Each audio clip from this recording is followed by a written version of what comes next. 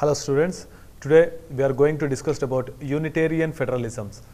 The Constitution of India describes India neither as a federation nor as a unitary state. Its Article 1 simply declares India, that is Bharat, shall be a union of states. It is neither a federation nor a unitary states. Dr. Ambedkar observed there were certain advantages in describing India as a union of states and this expression indicates two important facts. First, that federalism in India had not been the result of agreement among the units and, and second, that the constituent, uh, constituent units of Indian Federation had no right to secede from it. So, the Indian state is a permanent and unbreakable union. The states of Indian unions have no right to secede.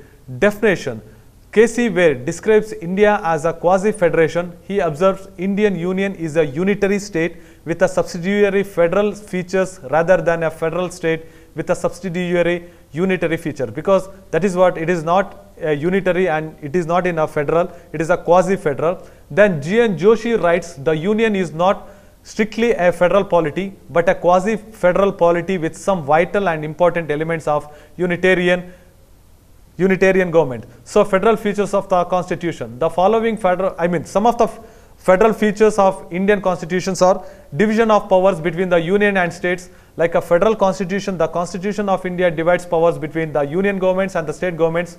It divides all the subjects in three parts. Union subjects, state subjects and concurrent subjects. Union subject consists 97 like defense, armed forces of the union, foreign affairs, etc. that belongs to the union subjects. Then some, some public orders, police, prisons, public health, etc. that is our in a state subjects. In state subject, they had, there are uh, 66 subjects of the states uh, list, uh, concurrent list having a 47 subject, criminal law, uh, criminal procedures, marriage, divorce, etc. And the next functions, dual polity. India, Indian establish, or India establishes a dual polity. Each citizen is subject to two government, the government of the state in which he resides and the government of India. Next, written constitution. India has a written constitution which lays down the division of powers between the union and the states. Next, rigid and the flexible of the constitution. Article 368 of the constitution lays down the special procedure of the amendment of the constitution. It provides for a difficult method of amendment in respect of the federal in characters. Constitution is the supreme law of the land. Both the union government and the state government derives their power from the constitution.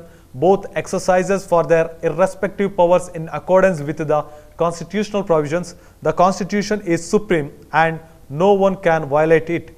Some of the special role like a supreme i mean we are the, talking about the judiciary like a supreme court the constitution of india have india provides for an independent judicial system with a supreme court as its head the supreme court has the power to settle the disputes arising between the union and state as well as among the states it is a financial interpreter of the constitution some bic I mean next bicameral union parliament. The Indian constitution also provides bicameral union parliament.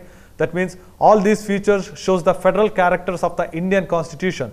The division of powers between the union and the states and the establishment of the dual polity India to be recognized as a federal state. Some of the unitary features of the Indian constitution like we have a very strong in nature, very strong central government. The unitary character of the Indian unions is demonstrated fully it is, it is provisions which establish a very strong central government. It ignores the true spirit of division of powers by making the union substantially more powerful than the states.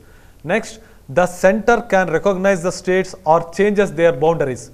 Under the constitution, article 3, the union government can change the boundaries of the state even without the consent of the concerned state.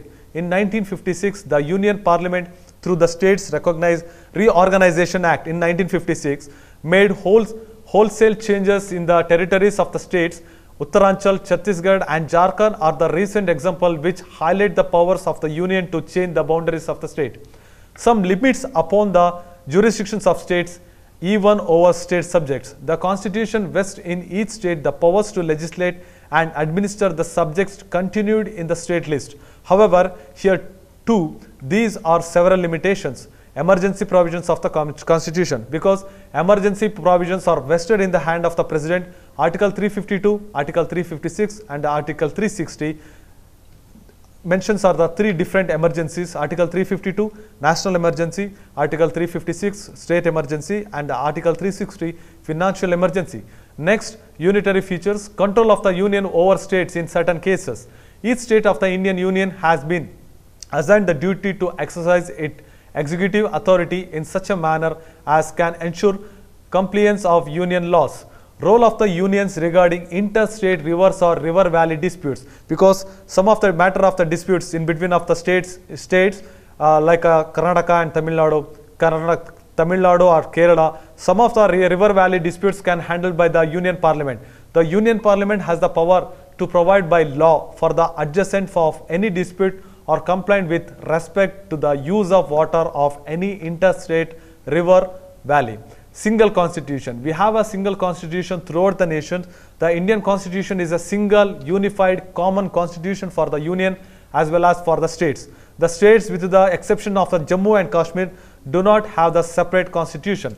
We have enjoying the citizenship, single citizenship. It is one of the unitary in feature.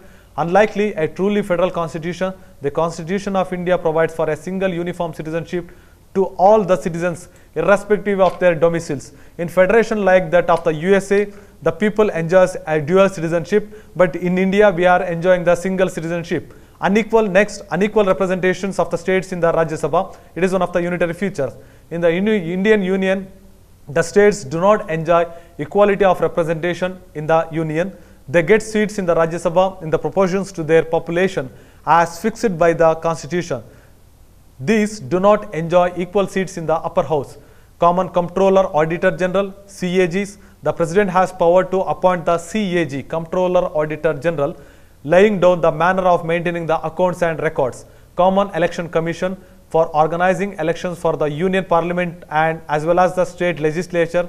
The Constitution of India provides for a single election commission. Then we are, I'm going to conclude the unitary features and the federalism. I mean unitary in nature, federal in characters because we have a quasi-federalism. Thus the Indian constitution cannot be called as a federal constitution. D.D. Basu observes the constitution of India is neither purely federal nor unitary, but it is combination of both. It is the composite state of novel type. So it is also called as quasi-federal. Indeed, the Constitution of India is federal in structure but unitary in spirit. India Union of States is characterized by Unitarian federalism. Thank you.